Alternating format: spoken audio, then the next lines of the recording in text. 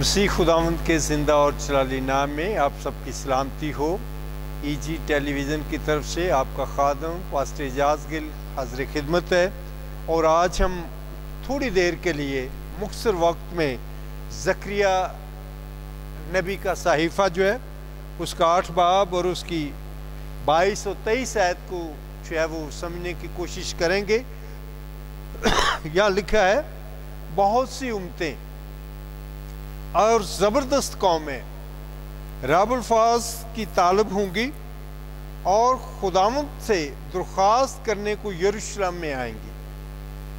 राबुलफाज यूँ फरमाते हैं कि उन आयाम में मुख्तलिफ़ फैले लुगत में से दस आदमी हाथ बढ़ाकर एक यहूदी का दामन पकड़ेंगे और कहेंगे कि हम तुम्हारे साथ जाएँगे क्योंकि हमने सुना है खुदा तुम्हारे साथ है। खुदा के पाक कलाम के पढ़े और सुने जाने पर उसकी बरकत हो।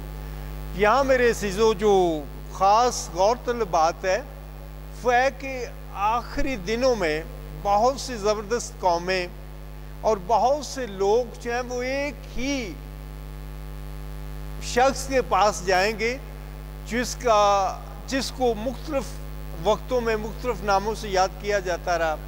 किसी ज़माने में उनको अबरानी, अबरी भी कहा गया और फिर किसी ज़माने में उनको इब्राहिम की नस्ल से भी जो है वो जोड़ा गया और फिर आज हमारे ज़माने में जो है उसको हम बन इसराइल और यहूदियों के नाम से जो है वो याद करते हैं। मेरे सीजो एक बात हमको जहनशीन करनी चाहिए कि कोई भी शख्स जो है वो अपनी ज़ात में उसके उलझाव पैदा हो सकता है, वो उलझाव का शिकार हो सकता है। लेकिन यहूदी जो हैं, उन अकीदे के नज़र से फ़ोन में किसी तरह का जो है वो ख़राबी हमें नज़र नहीं आती। अब शैतान चूँकि माहिर है, शैतान नफ़रत बोक्स और अनाथ, तफरीक, डिवीज़न जो है, ये पैदा करना शैतान का काम है। मेरे और आपके खुदा यसुमसी को जब स्लीप दिया गया तो उस बात को शैतान ने यहूदियों के ख़िलाफ़ नफ़रत के तौर पर एक हथियार के हैसियत से इस्तेमाल किया। लेकिन अगर हम मुख्तलिफ़ बाइबल मुकदस के मुख्तलिफ़ हवाला जात को देखें, अगर दूसरा सलातीन, उसका सात बाब पंद्रह आयत में देखें तो वहाँ लिखा है कि वो गैर कौम का जो शख्स है, वो इस बात की दलील पेश करता है कि अब मैंने जान लिया कि रूह ज़मीन पर किसी और जगह खुदा नहीं, खुदा यहूदियों के साथ है। फिर अगर हम यहुना रसूल की अंजील और उसका चार बाब बाईस आयत में देखें तो वहाँ पर भी हमें इसी तरह के ख्याल जो हैं वो मिलते हैं। और अगर हम मुकाशवा सात बाप नौ दस आयत देखें तो वहाँ लिखा है कि मैंने आसमान को खुला हुआ पाया। और मैंने आसमान पर मिली छुली भीड़ जो है, उसको देखा। तो अज़ीज़, सामीन, हम अंदाज़ा कर सकते हैं कि खुदामंद की मौत को मुतनाज़ा बनाने के लिए खुदामंद की मेरे और कफ़ारे, आपके कफ़ारे को मुतनाज़ा बनाने के लिए शैतान ने नफ़रत को हथियार के तौर पर इस्तेमाल किया।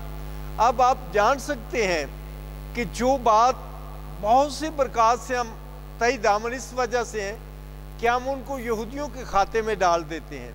अब सबक मुकदस है, जिसके लिए हम ये कहकर अपना दामन छुड़ा लेते हैं, जी, ये यहूदियों का दिन है। नहीं मेरे अज़ीज़, ऐसा नहीं है। ये ज़मीन की तख्लीक की याद हमें दिलाता है। और अमानदार जो हैं, वो जब सबक की आबादत में शामिल होते हैं तो वो एक तरह से ज़मीन की तख्लीक, फितरत की तख्लीक का जो है, वो सालगिरह के मनाने के उम्मीद के साथ जाते हैं, इस बात के साथ जाते हैं कि वो दुनिया की तख्लीक की याद में सबत की आबादत करते हैं। फिर अगर बाइबल मुकदस में देखा जाए तो चूँकि खुदा किसी का तरफदार नहीं, बहुत से लोग ऐसे हैं। बन इसराइल ने जब मिस्र से कूच किया तो वहाँ लिखा है कि मिली जुली भीड़ थी। अब चूँकि मैं और आप, हम सब जो हैं वो खुदामंद के गवाह हैं। खुदामंद की मनादी और खुदामंद का अरशाद आज़म जो है, उसकी तकमील हम सब पर फ़र्ज़ है। लेकिन ये काफ़ी नहीं है कि हम सिर्फ़ ये सोच कर जो है बैठ जाएँ कि सबत यहूदियों का है। यहूदी जो है, उन्होंने खुदाम यसु को मसरूफ़ किया। हर मसीह जो है इस अकीदे को मानता और इस पर उसका पुख्ता यकीन है कि अगर खुदा यसु मसीह की शहादत खुदा यसु मसीह की मसरूबियत जो है, वो मेरे और आपके लिए गुनाहों की खलासी का सबब है। और चूँकि हम अमान रखते हैं कि जिस मौत के हम हकदार थे, वो मौत मेरे खुदाम यसु मसीह ने कबूल की। ताकि मैं और आप हम ज़िंदगी पाएँ और कसरत की ज़िंदगी पाएँ। सो इन आयात में हमें जो बात याद दिलाई गई है, ये एक असास ज़िम्मेदारी है। अब बहुत सी कौमें जो हैं, ज़बरदस्त कौमें या दूसरी तीसरी कौमें जो हैं, वो खुदामंद के नाम से भी वाकफ़ नहीं है। तो ये किसने, किसकी ज़िम्मेदारी है?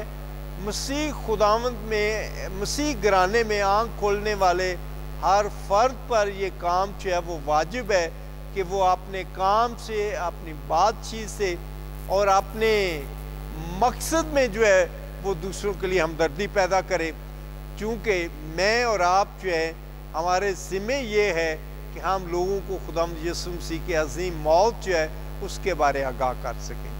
खुदम यसु मसीह वो बरा है जिसके बारे कलाम मुकदस में लिखा हुआ है कि खुदा का अजीम बरा जो दुनिया के गुनाह उठाए, ले जाता है। तो इस उम्मीद के साथ जो है, आपसे रुखसत चाहूँगा कि खुदावंत की मर्ज़ी नहीं है कि हम जज बनकर, हम काजी बनकर लोगों से नफरत करें।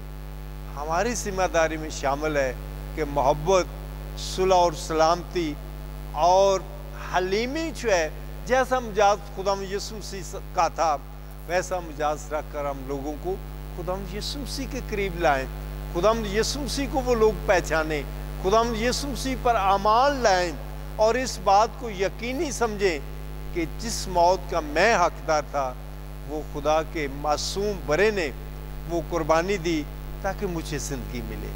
अब गैर अकवाम को मैन और आपने खुदा यसु मसीह, क्योंकि अम्बिया कराम जो हैं, ये उन लोगों के जो उनको तस्लीम करते हैं।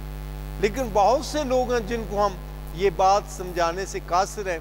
मुझे याद है, लाहौर में एक बहुत बड़ा जलूस था और वो बन इसराइल मुर्दाबाद, बन इसराइल ज़मीन पर लिख कर जो उस पर जूते भी बरसाए जा रहे थे और तोहन का कोई ऐसा पहलू नहीं था जो उस जलूस के इस्तेमाल में नहीं था। लेकिन जब उनके इलम में आया कि ये एक नबी का नाम है बन इसराइल तो वो सब लोग सहम कर पीछे हट गए। लेकिन अजीज़ों, चूँकि हम कासर हैं, हम ये बात लोगों को बताने की ज़रूरत महसूस नहीं करते, लेकिन मेरे और आपके ज़िम्मे खुदा ने ये काम लगाया है कि हम लोगों को बताना है।